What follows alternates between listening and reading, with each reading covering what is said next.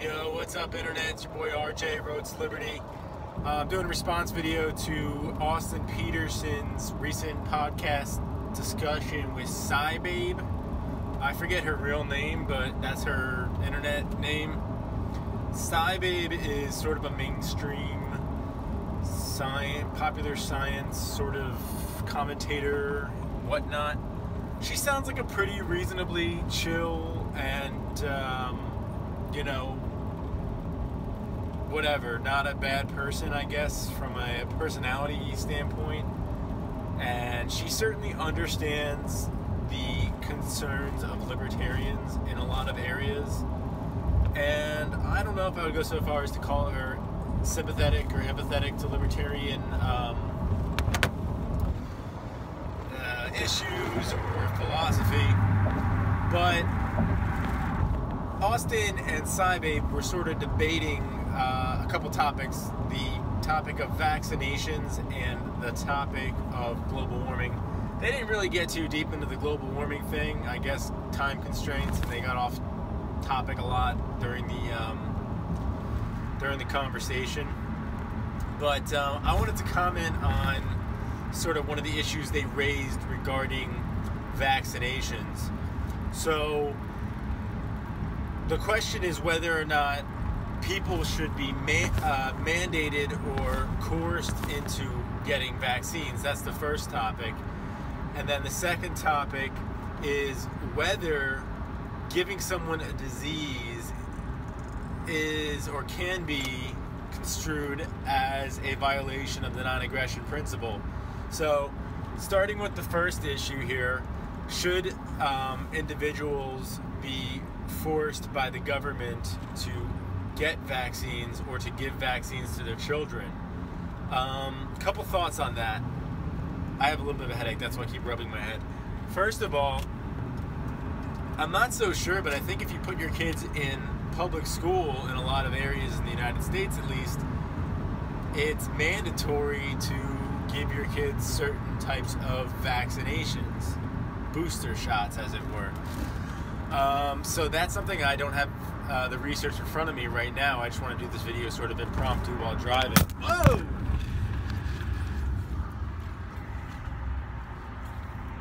Sorry about that.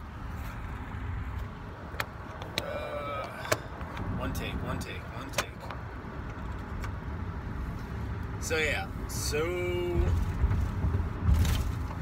um, so yeah, so I guess mandatory vaccination might already be a thing. First of all, secondly, um, that's you know with regards to children who go to public school, but Austin raises the question well, should have what vaccinations should be mandatory? Just select ones like polio and measles, mumps, rubella, and that kind of thing, or should it be, you know, every uh, possible thing under the sun? You know, HPV and uh, you know swine flu and whatever.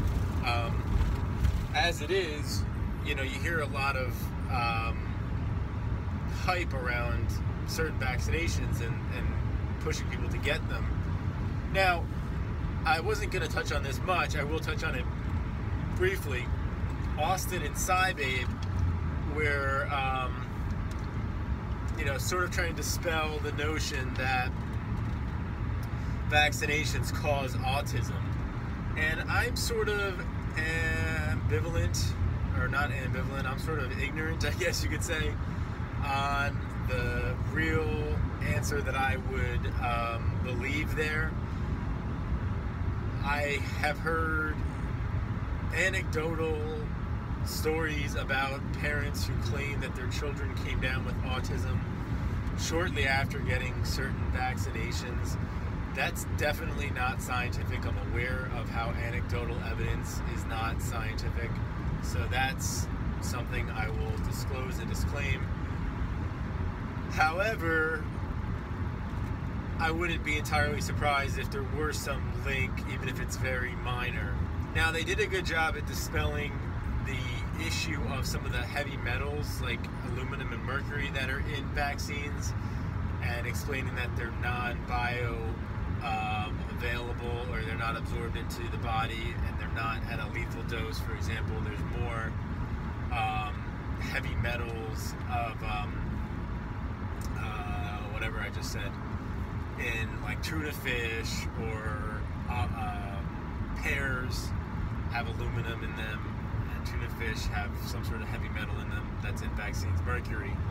And uh, so I found that informative. Now to get to the second part where I would really critique.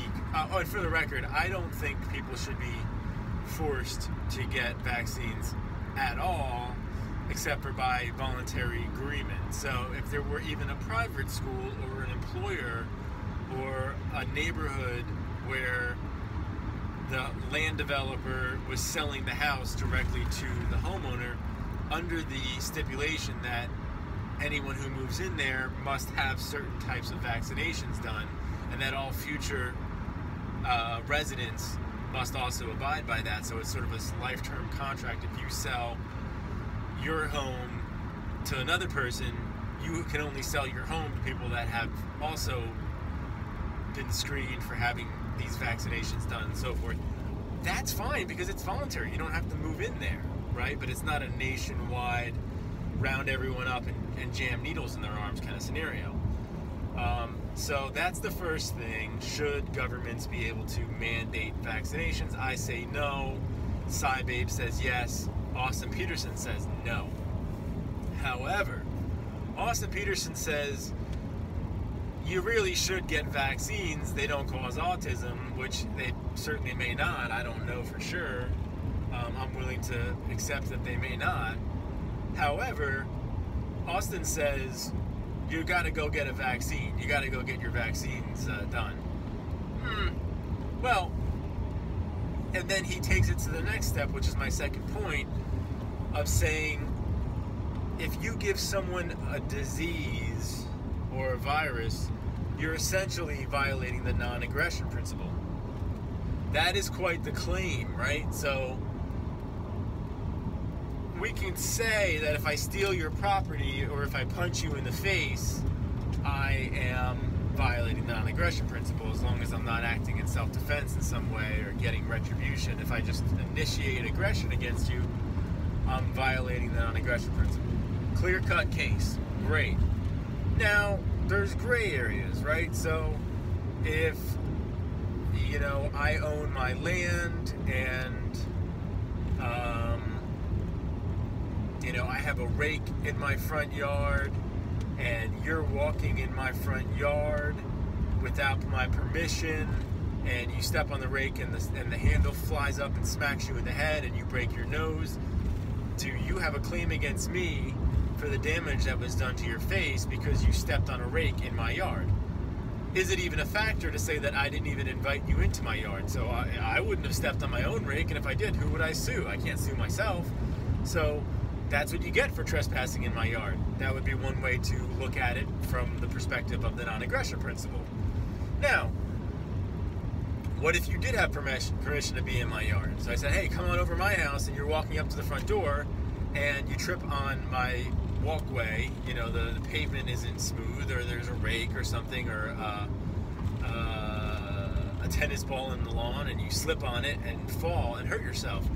Now, a lot of people would say, well, you know, I had permission to be on your property. You created an unsafe environment, and I was injured on your property. So, in, in effect, you injured me. Um, that's a gray area. I mean, where do we deduce from the non aggression principle that simply being adversely affected by another person's property or choices is sufficient to create um, an initiation of aggression and that type of harm that would be considered an initiation of aggression and under the non-aggression principle. I'm not so sure we have that ability to deduce that type of harm. Uh, to give another example, if borrow my bike and the seat is loose on the bicycle and it causes you to crash the bike and break your neck or something, or break your ankle, or whatever the case may be, is it the case that I have initiated aggression against you. Um, I would say that unless we had a contract for rental that said that, that said, you know, I hereby assume the responsibility, that would be a caveat in the contract. If we had a verbal agreement, uh, I don't know. I mean, I think it would be. I would lean more on the side of, hey, you know, there was no expectation of, you know, insured health while using this. But I would also encourage the renter of the bike or the lender of the bike to explicitly disavow their obligation legally, basically have some sort of use at your own risk type of rider. You see that all the time in swimming pools, water parks, hang gliding, uh, cable parks for wakeboarding, and all sorts of things. You say, okay, if you want to have fun here, it's at your own risk. You know, skate parks, whatever. It's like, yeah, you know, you pay ten dollars to get in, but that doesn't cover the cost of your medical expenses if you fall down and hurt yourself. You know, we require you wear a helmet, or we require that you get this waiver signed, or whatever. But we're not here to make sure you're healthy. In addition to just providing this experience, so long way of getting there. But I wanted to kind of use those type of examples as um, an introduction to the question of disease and uh, viruses in the framework of harm as related to the non-aggression principle. So you come over my house to watch Netflix or to play poker or whatever, and it turns out I have um, the flu.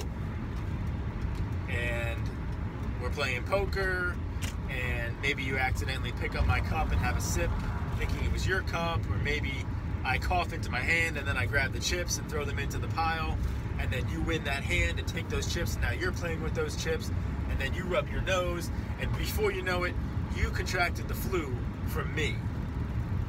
Let's get past, for the sake of this discussion, let's assume we have the ability to know, which we probably don't very easily.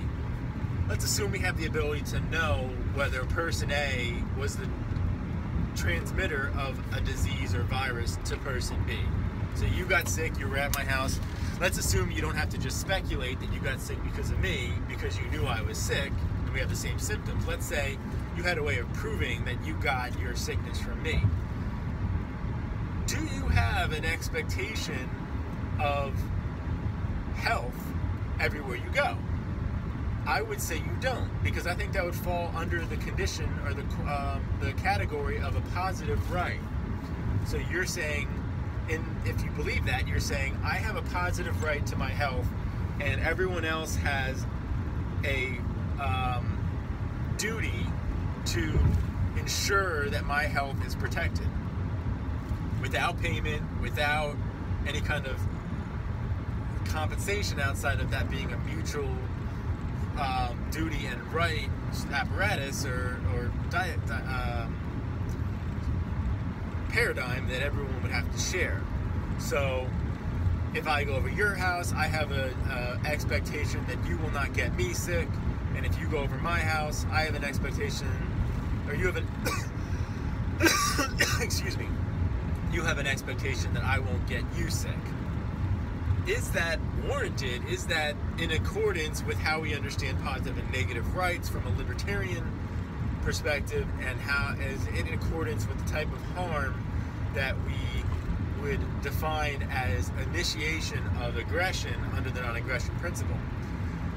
Um, so I would say that it isn't. I would say that when you walk around in life, you have the obligation for your own health. If you have a compromised immune system or you have reason to believe that someone is health compromised or you're you know acting out of an abundance of caution and you go over someone's house and they don't indicate to you otherwise you know you should take it upon yourself to say hey before we hang out and play poker or go swimming or make out or whatever i want to know are you feeling sick in any way you know before i drink out of your cup or your beer bottle or whatever do you have anything that I could get?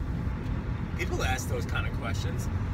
That's self ownership to me. That's the individual looking out for the outcome of their own benefit or loss by factors that may be not qualified as an initiation of aggression, but just accidental harm, just like tripping over something in my yard. I, I think it would be hard for you to show or make a case for that. I invited you over with the hope that you would trip on something in my yard, and I intentionally left all these obstacles out, hoping and hiding them in such a way that you would trip and harm yourself, and I could um, escape blame for that. That to me is a very special case that I think would require um, very careful, um, you know, proof on the on the behalf of the person harmed to indicate that it wasn't um, accidental or blameless, but that in fact there was willful intent to do harm. Um, willful intent is a part of Western criminal law as it is. If that's why there's different types of vehicular manslaughter. There's I ran someone over because they had sex with my wife or girlfriend and I wanted to run them over. And then there's I was driving and I had a leg spasm and I couldn't lift my leg off the gas pedal, or I dropped a cigarette butt in my lap and I was burning and flipping out and my car crashed onto the sidewalk. There's different degrees of blame for harm when you initiate quote unquote aggression in our current society. So, anyway, so kind of wrapping up the second part, uh, point I wanted to make here on the disease thing as it relates to vaccinations under the non aggression principle is the disease is not even the same classification of entity as the rake in my yard or the bicycle that I let you borrow. It's not exactly property of mine that I am vouching for or configuring in such a way to where, hey, you left your rake in the yard, right? Hey, you knew that the seat bicycle bicycle seat wasn't tightened on right, or you had reason to know that, or you didn't check before you let me borrow it, right? In those cases, I think there's even more of a case, even though I don't think there's a sufficient case. I think there's more of a case that can be made to blame the uh, the party lending the bicycle or, or inviting the person over who was then harmed by the rake in the yard. Because they came in contact willful contact with those items. You know i was riding the bike i noticed the seat was loose i put it in my shed and i didn't uh, tighten it or remember to tighten it and then i lent it out without checking. There's a lot of things that i had to do with there where i was part and parcel to it. Even though I wouldn't consider myself initiating aggression upon you if you borrow it and don't check it yourself, right? Um, whereas with the virus and the disease, what about cases where I didn't even know I had a virus or a disease, which is extremely common? You can be carrying something without realizing you're carrying it. So if you have sex with somebody and it's unprotected, and neither one of you makes any declaration of, you know, being STD free. You say, well, I, I, we didn't even talk about it. We started making out, and before we knew it, we were, you know, mashing privates. Well, if nobody talked about it, and then I gave you something, there's two moral classes to that possible outcome there. One, I knew I had something and I just decided not to bring it up. You might be able to find some blame there, um, and I think it might be uh, reasonable to do so. In the other case, if I didn't know, I had no symptoms, I had no reason to believe I was health compromised in any way, and you didn't ask me, hey, have you ever had any unprotected sex or have you been tested recently, and you get something, well, we're kind of at the same moral ground because we both had unprotected sex. It's not like I did it and you didn't. Unprotected sex, by definition, means both people didn't have protection. And if neither party spoke about any expectations or any health uh, knowledge prior to the uh, encounter, then both parties are on the same moral ground of if there's harm created in any direction, both parties took the same amount of precaution to prevent possible harm. Essentially none.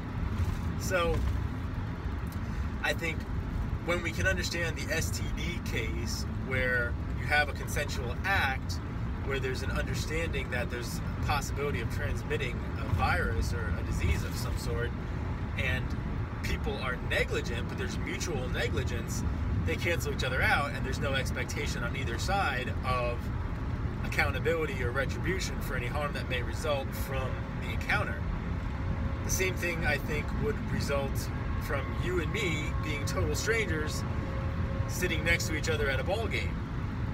You know, um, you are not a fan of having uh, vaccinations, and turns out you're carrying swine flu or measles, and our team scores, and we do a high five, and I get your measles or your swine flu. Now, I go to the doctor, I find out I have measles or swine flu, and I trace that first symptom back to the day after the ball game. And I said, "Oh, maybe I got it from that guy I high fived. Maybe I didn't. Maybe I got it from a germ I picked up in the bathroom or whatever." But again, for the sake of argument, let's say hypothetically there's some way to know, as a matter of fact, who or where it was that um, transmitted the virus or disease or whatever to a person, to you, to me. Um, so I know it was you that gave me, um, you know, measles when I um, when I uh, high fived you at the ball game.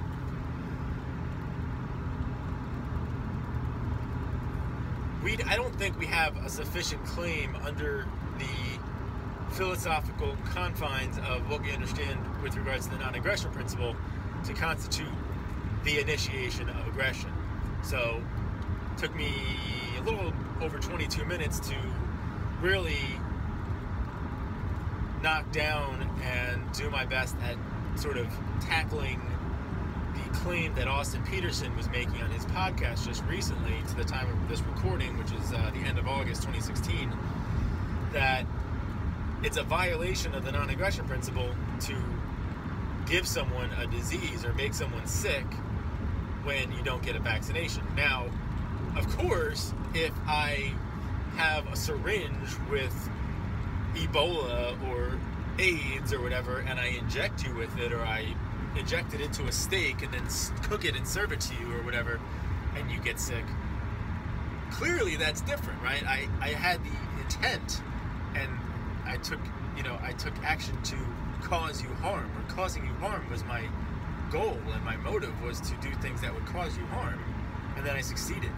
I mean, you have all the components there, you know, knowledge, intent, um, complicit action, causation. You have all these components that indicate blame under the initiation aggression, under what you consider blame under the non-aggression principle.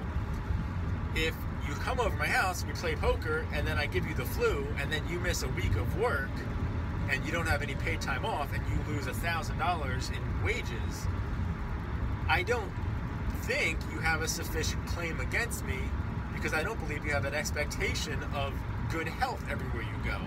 And I'll tell you why. This is, I guess, the last point I want to make. The disease is an entity unto itself. So it's like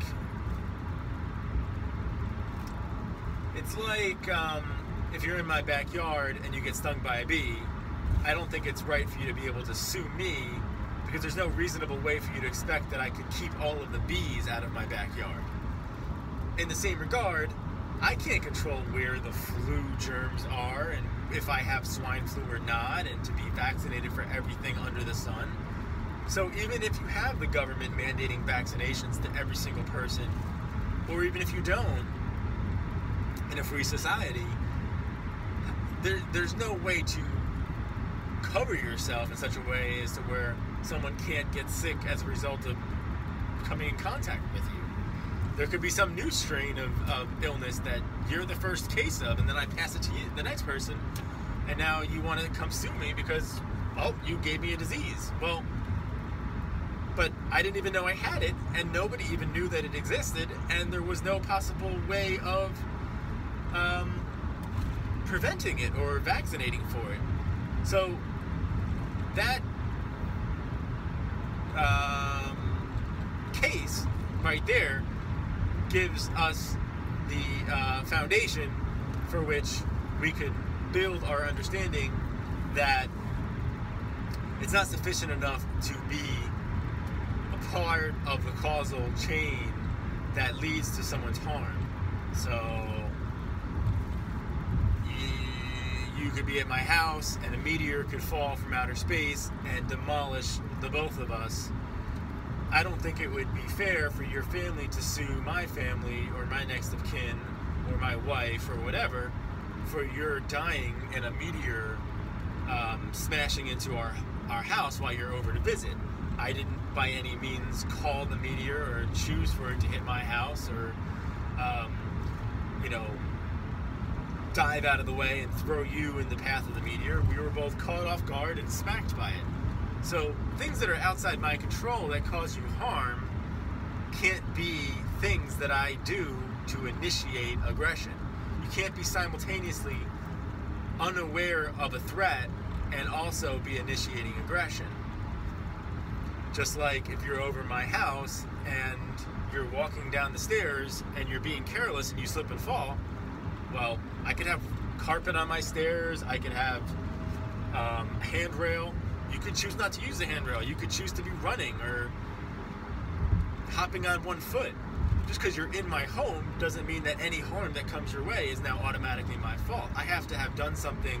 Now, there is negligence, right? I could have poured petroleum jelly or lubricant, you know, motor oil all over my stairs and not told you or informed you and said, hey, run upstairs and get me something.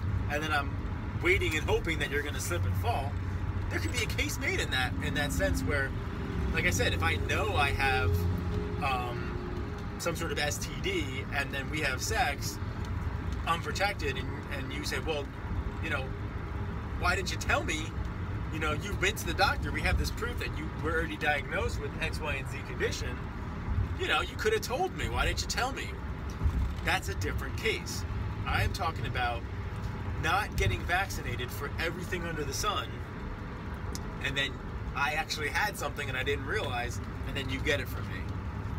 Austin was saying that that is a violation of the non aggression principle, and hopefully, in the past 28 and change minutes, I did a decent enough job building up to and sort of debunking and tackling and discrediting that claim that you could have violated the non aggression principle by being negligent in getting a vaccine for something that you later unknowingly contracted and unknowingly transmitted.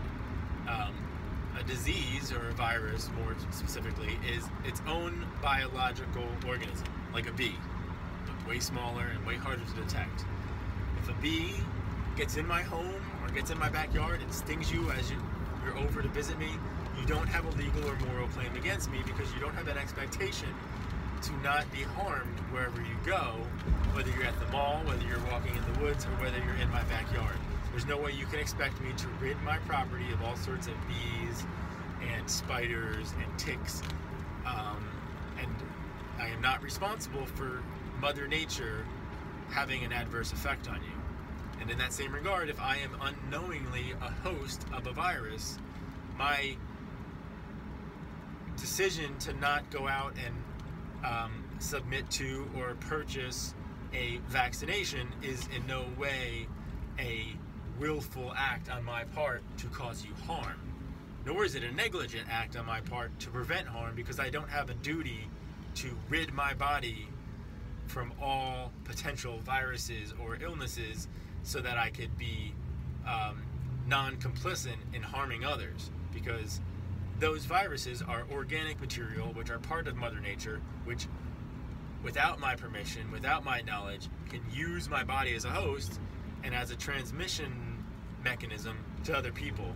and I am not causally involved in such a way where I'm aware and willfully um, negligent in creating harm for you. So that's my case. I won't say that it's completely bulletproof or, um, you know, um, not prone to, uh, not susceptible to any kind of um, counterclaim or uh, retort. I would, would love to hear what other people have to say um, about this issue. Um, should people be required by government or by any sort of societal structure to get vaccinations? One. And two, if I give you a virus and I didn't know I had it, and I didn't intentionally try to give it to you overtly, is it fair to say, or is it correct to say, that I have initiated aggression against you by you contracting a virus that I was unaware I was transmitting? That's the philosophical discourse today on vaccines as regards Austin Petersen's chat with Psy Girl. Uh, thank you guys for tuning in for this little car video blog session. As always, please subscribe. I could always use more subscribers. And please share this video if you found it to be intellectually stimulating. And please, please, please give me your comments and feedback.